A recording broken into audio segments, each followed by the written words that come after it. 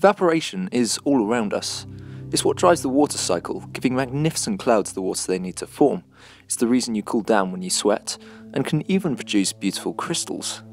It is a truly important part of this world, and in this video I'll be explaining what evaporation is and why evaporation happens, and hopefully you'll be able to explain it too by the end of this video. I'd like to introduce evaporation in a way you might not have looked at it before, because we're all very familiar with the concept of a liquid turning to a gas, but why is evaporation any different from boiling, and how can it happen at a lower temperature than boiling? To start with, we need to review the kinetic model of matter, which states that solids are made up of particles fixed in position and vibrating, liquids made up of particles which are free to move but are still bound to each other, and gases being made up of particles free to move but with empty space between them. To explain evaporation, we first need to consider a liquid and what we mean by the temperature of it. Temperature can be thought of as the average energy of the particles in a substance, put simply, the averages of the speeds of the particles. Liquids and gases with higher temperatures have their particles travelling at higher velocities, while liquids and gases with lower temperatures are made up of slower moving particles.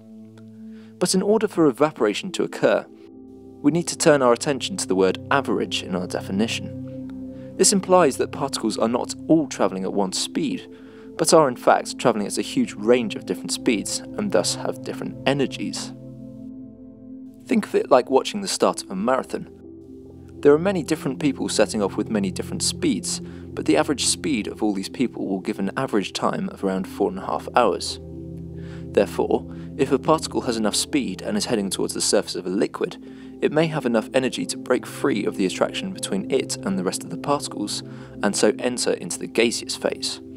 This is what we mean by evaporation, and can occur at low temperatures due to the fact that there are many particles with lower energies than the high energy particles escaping from the liquid, thus giving a lower average temperature. This is the reason why water evaporates faster in a warmer environment.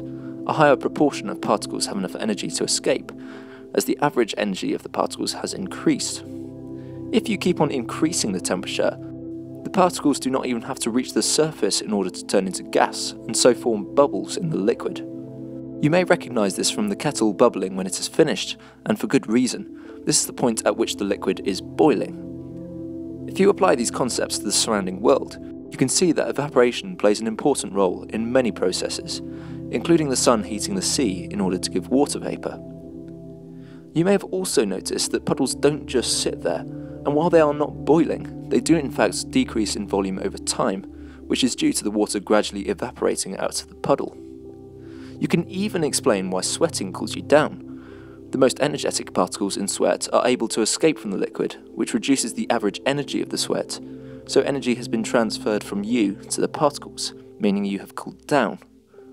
So it seems that evaporation is not just as simple as liquids spontaneously turning into gases, but can be described by some fairly logical physics. As ever, thank you for watching, and if you're interested about more of the workings of our surrounding world, click here for more day to day science.